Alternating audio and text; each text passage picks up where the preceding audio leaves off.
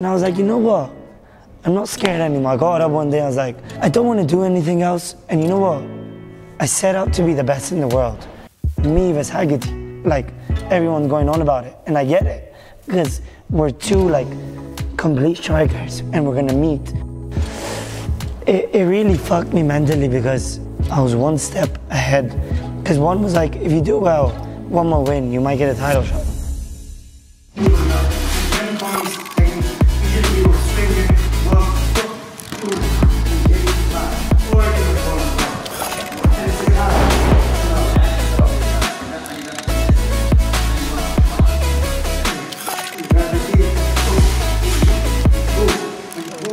Was six, I was like, I wouldn't do this.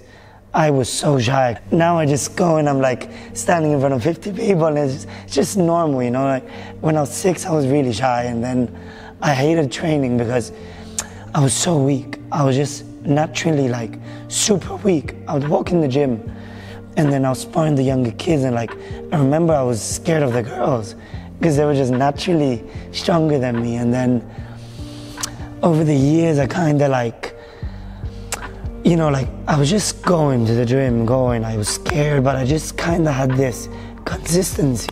I was like stick to it. And I, I enjoyed it but I was scared of it. But I just kept showing up. Over the years I kind of like saw like you know it's working you know and I enjoy it. I would like kind of take a month break and I was like I don't like anything else and then I would go back to the gym as I was growing older, like injuries started being a part of it, like my shins. And then I was like, oh, I don't, I don't like it. Like the injuries were like kind of like paying a toll on me. So when I was getting injured, I was like, oh, do I like it? And then I'll take a step back, go to school, live a normal life. And then I was in school, I was kind of like, as I said, I was a shy kid. And I was observing, like, you know, the what everybody was doing. When I would see all the kids, I was like, oh, I don't like none of this. I was constantly thinking like, Muay Thai, Muay Thai. I want to go in the gym, go home, watch YouTube, look at Muay Thai. And I was like, wow, I really like this. So then when I was 11 years old, like I traveled to Thailand on a trip to like the World Championships, amateur World Championships. And then when I was there, like my trainer took me on a trip to Lumpini. I went to Lumpini Stadium and I walked in and the atmosphere in there was like hectic. I was just walked in, it was like, wow, like my hair still go up when I feel it.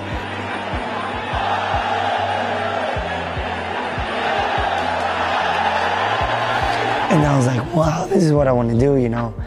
I really was, something really like brought me alive when I was there.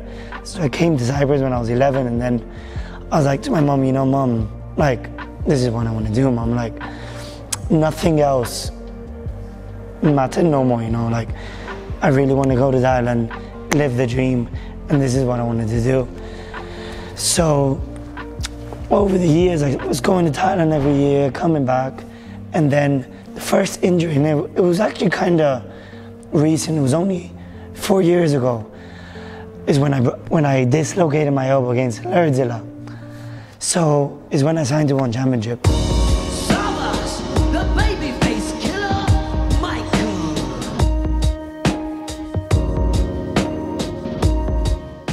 and my first fight with one big platform, got the win with Sing Tanoi.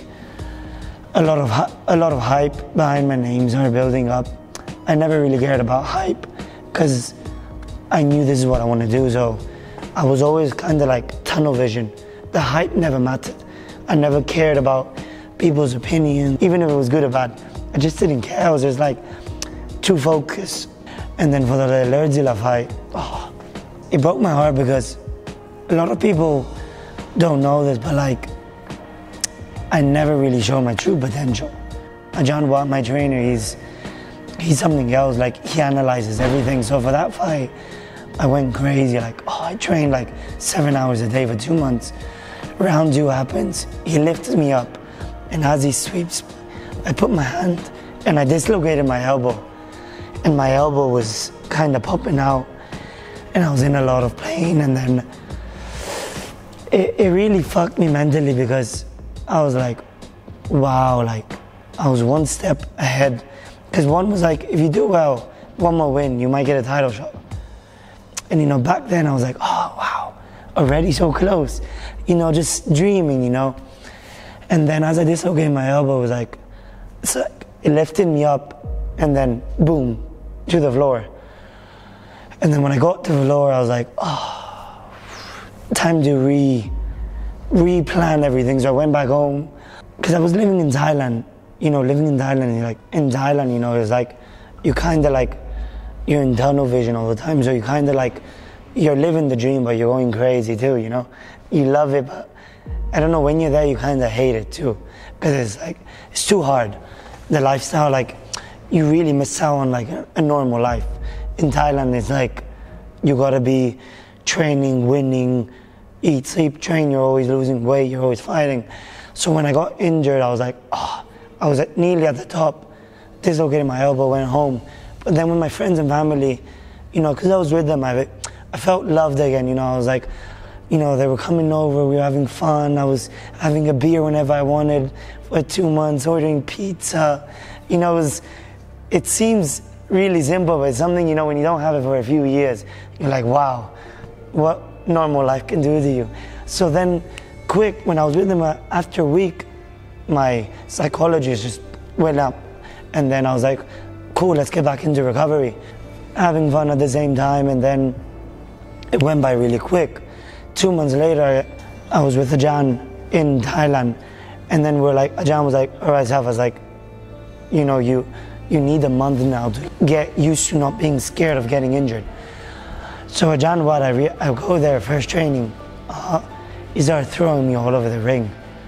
Oh, and I was, re- so I was going to training, and I was like scared, you know, and Ajahn was lifting me up, boom, boom, boom, and then I was like putting my hand, and I was like, you know what? I'm not scared anymore. I got up one day, I was like, I don't want to do anything else, and you know what? I set out to be the best in the world. And then I went, my mindset became bulletproof. A month later, I had the WBC world title.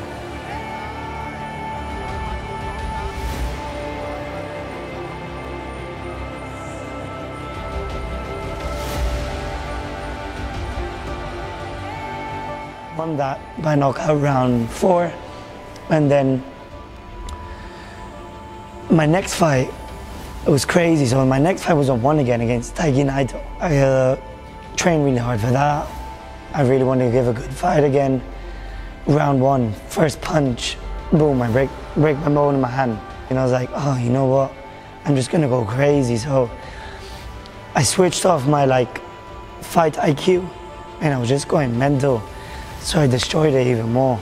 After the fight, I lost the fight, but I realized that I broke my hand and I was devastated. And like my good friend Daniel, like I've seen him go through all that, and then COVID hit, and then the whole world shut down, and I was like, oh shit, like I'm gonna need surgery, and I was like, I'm gonna go back to Cyprus. Same thing, family, surgery, restart. So then my Thai trainer came back, and then when my Thai trainer came, it was kind of like being home with my loved ones, training hard. One thing I loved it was like, I didn't have to worry about fighting.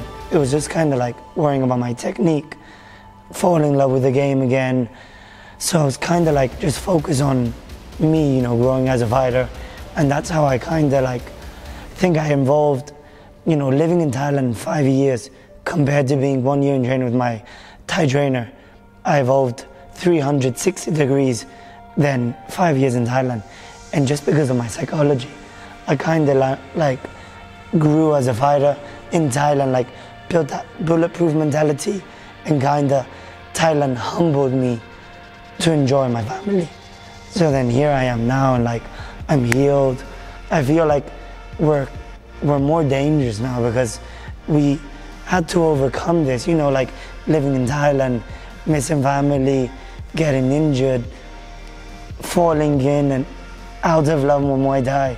And then just feel like we love the sport so much, we kind of just dive into it. So like now, like kind of broke her heart. You know, it's like, you know when you love a girl, you love her so much, right? And then you, you give it all. and then she just breaks your heart. And then you're like, you take a step back and you're like, oh shit, you know, I could have done that. It's the same thing. I love it like, I love it as much as I love anything on this world. So it's like, it's, it's the same feeling. So fall, fall in, take a step back, look, rebuild, level up. It's the same thing. Think about your straight Step back. Look at Muay Thai, like, look how many good fighters we are. Every month, you know, you can go now to Thailand and probably I'd be in the stadiums and like rank number seven, you might be 16 years old and it'll give me the hardest life fight of my life. So there's fighters coming out of everywhere, you know, and it's just a sport. And now we're in a cage, small gloves. Imagine putting two lethal Muay Thai fighters. Let's say like me versus Haggerty, like everyone's going on about it, and I get it because we're two like complete strikers, and we're gonna meet in a cage, four ounce gloves, and we're just gonna go give it all, you know, and like it's a complete war, you know. It's like it's it's a dream come true to everyone. Complete fighters, finally. I'm surrounded by like great fighters all day, you know. I know their stories. I know, you know, everyone has their own story, and like, and I know everyone deserves better. And like, I just want to be part of like the growth of Muay Thai. But for now, I want to go back to Thailand and just focus on the stadiums and being a stadium champion. I want to live that. I don't want to retire and keep keep that in my past. You know, I want to don't want to be 40 years old and be like, oh, you know, like I could have done it.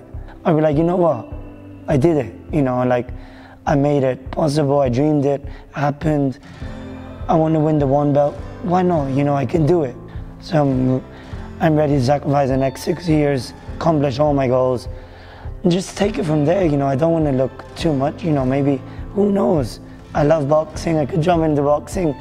I just love fighting. So I'm just, I'll be a part of it no matter what. If you truly want to do this, do it. If your parents are doubting you or your friends or like anyone, like obviously you're not going to believe in yourself. Like you're listening to them, but if you have that feeling inside, like you know, like I want to do this, like I'm ser- I'm really, but like truly believe it. Just go ahead and do it, and just close your ears. Just make it happen. But like, if deep down you're like, it's your ego that wants it, it's not your true self, then just listen to yourself. Your gut instinct is real. Like, someone who wants to be a barber, it's not bad. Be a barber. Someone who loves, you know, people like, I met a guy, his passion is making burgers. That's his passion. You can't, you can't take away for, you can't take it away from him. So just follow like what you truly want to do just believe in yourself. I have nothing else tell. Like, if you want it, you're gonna get it.